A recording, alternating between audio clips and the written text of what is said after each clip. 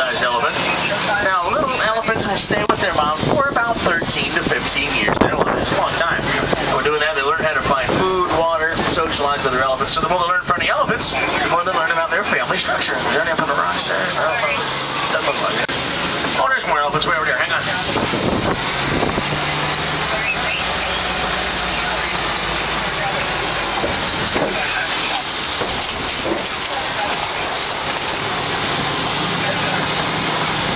In Harambe are studying the elephant vocal communications to better understand how and socialize each other, and also learn other ways to protect these elephants in the future.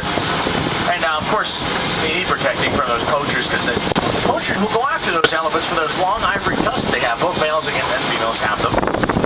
Uh, great to look at, but again, prime target for poaching. And that's why Wilson is very concerned about that mama elephant that's out here because they have the baby, but without the mama, the baby might not survive.